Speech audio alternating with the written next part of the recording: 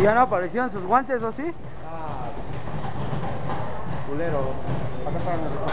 Ya tú nos vas a hacer el paro. ¿sí?